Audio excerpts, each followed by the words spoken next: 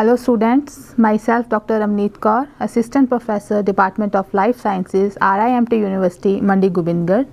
Today we are going to discuss insects as bioindicators.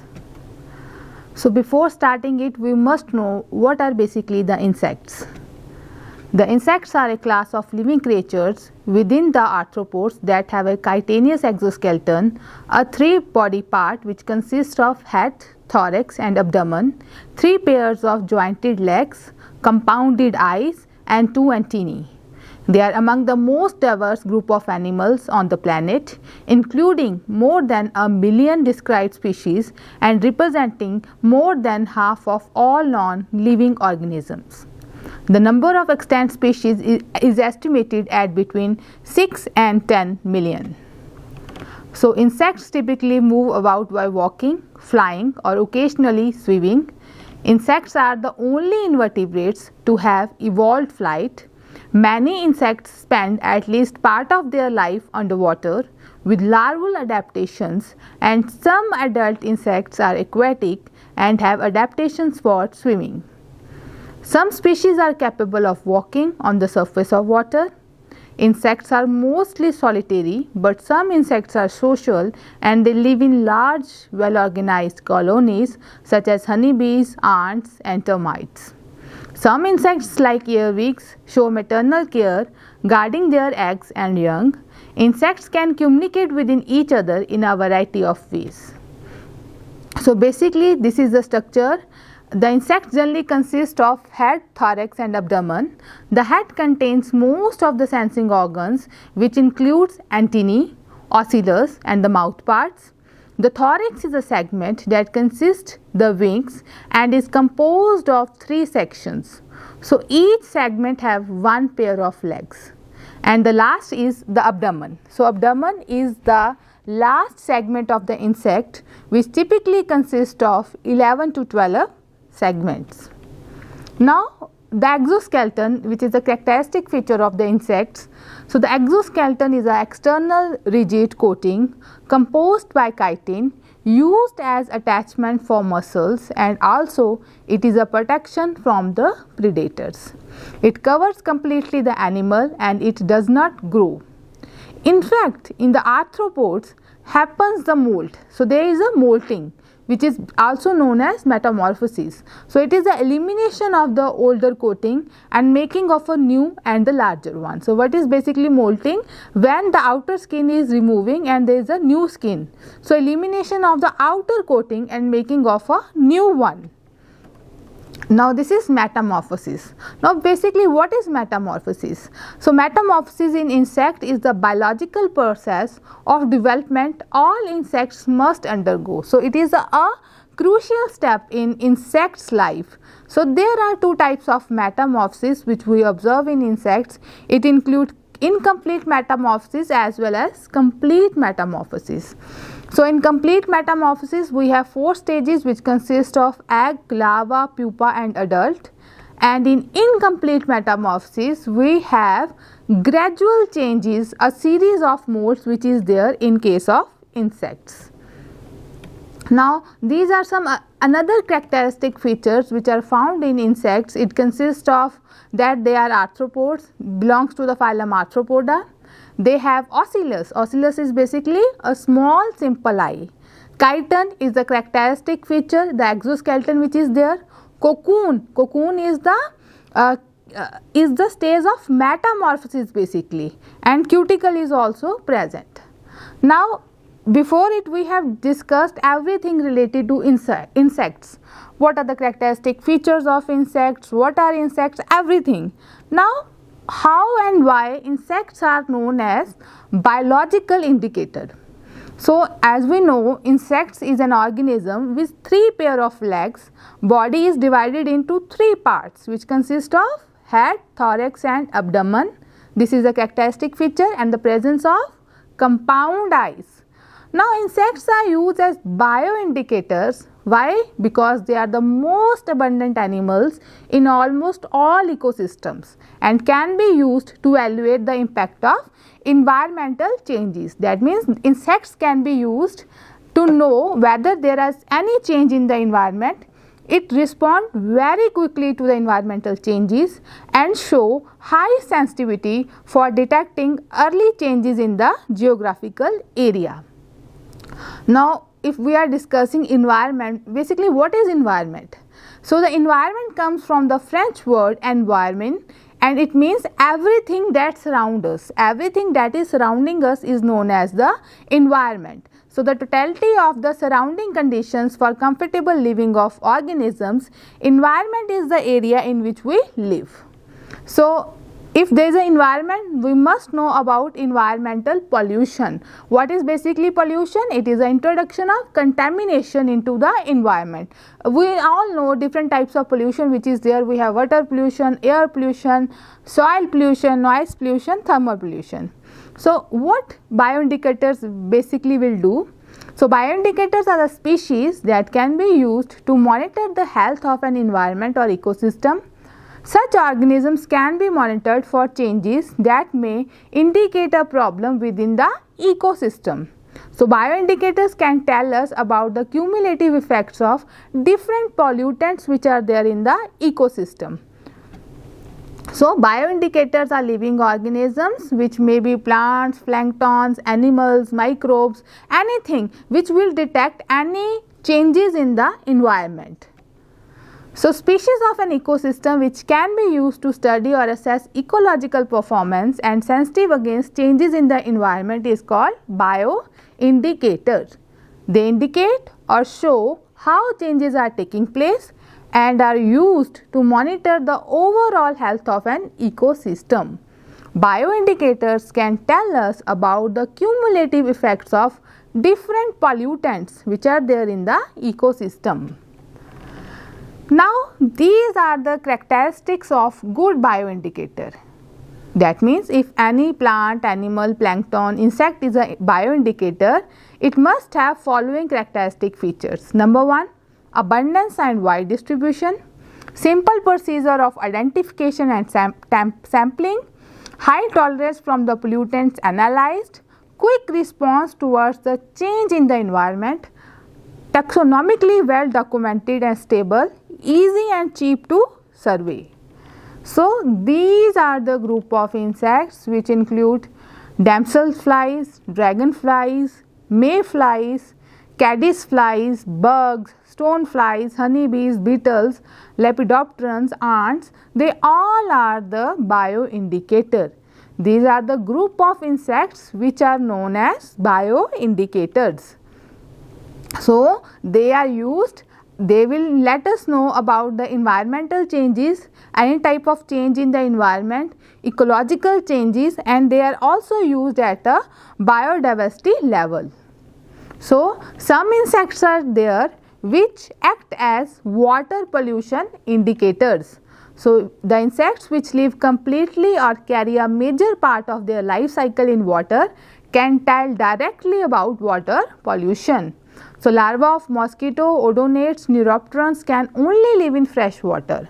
So, if there is an absence of the larvae of these uh, mosquitoes, odonates, it means the water is contaminated. It is contaminated with arsenic and lead concentrations. So, several aquatic insects groups can be used as aquatic environment indicators which is as follows. So, these Dragonflies and damselflies which belongs to the order Odonata, they are the indicators of water pollutants. Similarly, these are the characteristic features of damselflies and dragonflies. These we will discuss in next lecture, but here we are focused only on the indicators, the bioindicators which are there. So, dragonflies and damselflies, they are the biological water quality monitoring indicators and they are very sensitive to pollution in the water. Similarly, we have Ephemeroptera which include mayflies, stoneflies, shadflies and dayflies. These are the characteristic feature of this order. So, mayflies, mayflies larvae are recognized worldwide for their sensitivity to oxygen depletion in water basically in the running water. So, if there is a depletion in the oxygen level it means if the mayflies are not present it means there is a depletion in the oxygen level. So, mayflies inhabiting fresh waters like lakes and ponds. Then we have Trichoptera these are also the aquatic insects which were the theme for a series of six postage stamps issued by Poland on July 16, 1999. Immature and adult stages in the life cycle of caddisfly are depicted on this stamp. So, basically they are also uh, in 1999 they are found on the postage stamp. Then we have caddisflies. These are also the group of insects whose larvae occur in all type of fresh water. Particular species are sensitive to water pollution and that is why they are used as bioindicator of water purity. And these are the characteristic features of Trichoptera. Then we have stone flies. Stone flies larvae can only live in clean water. So, their larvae will only found when there is a clean water. So, if we are able to get the larva of stone flies, it means the water is clean and it has a high oxygen content. Then we have Hemiptera in which we have bugs uh, these are the characteristic features of bugs. Uh, I will specifically do another lecture on the orders and the characteristic features of insects. So, basically in bugs we have different different families and these families are also acts as bioindicator to determine the quality of water. So, these are giant water bugs. We have stink bugs or shield bugs which belongs to the family Pentatomidae these all acts as a bioindicators. After bugs we have Lepidoptera, the order Lepidoptera and the common insects in order Lepidoptera are butterflies, moths and skippers. So, these are the again the characteristic feature of order Lepidoptera. Yes, Lepidopterans are acts as environmental indicators by heavy metals and carbon dioxide concentration in location close to industrial area. So, presence and consequence of copper, iron, nickel, cadmium and other substances used in fertilizers were studied with pupa of different families of Geometridae and Noctuidae, cycle duration and mortality rate of newly hatched butterflies larvae which feed on plants subjected to high CO2 concentrations. So, the lepidopterans are also bioindicators. Then we have midges. After it we have Coleoptera, the order Coleoptera which include beetles. Beetles also acts as bioindicators like we have dung beetle which act as a dung roller and most of the dung beetles are dull black in color, some are metallic green in color also. So, these are also bioindicators, they play an important role in maintaining soil quality and contributes to the physical and chemistry soil formation. They also participate in biological control and biological monitoring of pollution from oil, sulfur, CO2 and another insecticides. These are the characteristic feature of Coleoptera. This is the dung beetle. I hope you all have know about it. These are the beautiful insects which we all have. Then we have another another fly belongs to the family Syrphidae. This is one of the largest family of order Diptera and has wide distribution and well known taxonomy and also act as a bioindicator. Then we have honeybees. You must know about honeybees. Honeybees also belongs to the order Hymenoptera, acts as bioindicators of environment in two ways as it signals by high mortality rates due to the presence of toxic molecules or by residues in the honey, pollen and larvae. So, recent mass dying out of honeybee in USA because of fertilizers has brought honeybee to the list of endangered species. So, these are the bees collecting the nectar. This is rock bee pollen collected from flowers. European bee Apis mellifera collecting pollen. This is Apis cerana which is collecting the nectar. This is the Indian bee. Apis florea the smallest bee collecting the nectar. We have dammar bee and bumblebees are pollinators for collecting nectar. We have carpenter bees. These are digger bees belongs to order Hymenoptera and after it we have ants which are also act as bioindicators. So, they are very sensitive to human impact and could be used as environmental indicator in different ecosystems depending on the degree of environmental change and these changes reveal the extinction of many ant species.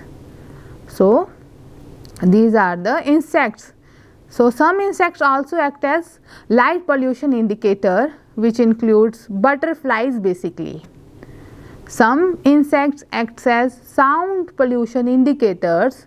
In it, we will able to get cicadas, crickets, locusts and grasshoppers which acts as sound pollution indicators. Some acts as industrial pollution indicators, some insects. So, some insects are air pollution indicators.